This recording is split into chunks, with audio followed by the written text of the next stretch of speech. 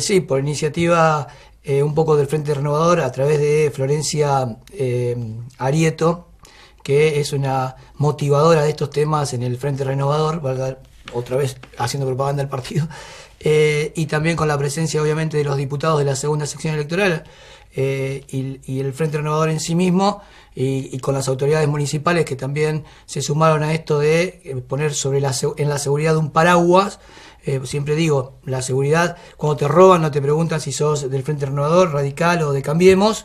Eh, y entonces me parece que esto debe ser una política de Estado. Y así lo entendimos nosotros, creo que así también lo entendieron las autoridades municipales, y se hizo esa jornada, eh, que no murió ahí, digamos. había una problemática que es respecto a la titular de la Comisaría de la Mujer que querían desplazar justamente porque no tenía un escalafón, una cuestión técnica o administrativa. El diputado Monfasani a posteriori de esa reunión, que iba a ser, eso iba a ser, la reunión fue el sábado y eso iba a ser el martes, eh, habló con el ministro Conritondo y la, y la titular quedó en la dependencia de Salto, o sea, se hizo una gestión en ese sentido, y ahora se solicitó una audiencia que va a ser entre el 23 y el 26 a los efectos de regularizar de derecho esa situación para que no quede a tiro de, de ministro y la puedan eh, movilizar porque eh, evidentemente eh, por la gestión que hace, así lo entendieron las autoridades locales y también la policía y, y, el foro incluso lo manifestó ese día, es una persona muy valiosa para el puesto en el que está.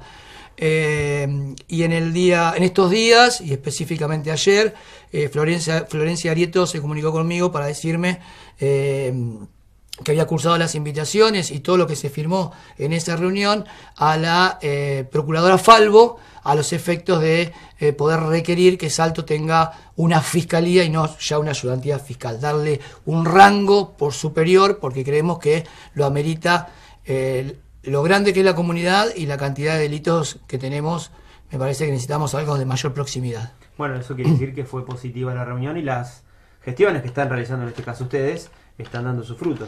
Sí, em, eh, sabes que esto depende de terceras personas y que hay cuestiones políticas, obviamente, pero creemos que se puede trabajar en la materia muy bien con el gobierno de, Vidal, en ese sentido, con Ritondo y, obviamente con el peso que implica los diputados del Frente Renovador. ¿Cómo es la relación? Una pregunta que te voy a hacer, Daniel, que cuando la gente te ve en la tele se quiere saber eso.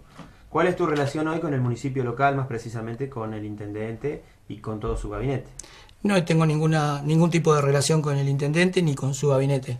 Eh, más que lo institucional a través de los concejales nuestros del Frente Renovador en el Consejo Deliberante, que planificamos una, conducta, una política en ese sentido, lo que vamos a hacer en el Consejo, y nada más. Es una, ese es el único vínculo que hay.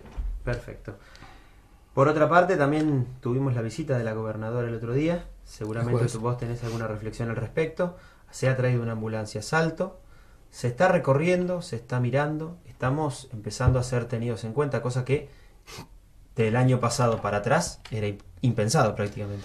Parece que es un cambio de actitud, de una política más de, de, estar con el vecino, de aproximación. Me parece que eso es lo que quiere manifestar el gobierno de Macri y de María Eugenia Vidal. Nosotros en varias oportunidades, dos que por lo menos recuerdo, el ex gobernador Scioli vino a Salto y en realidad fue Arcor.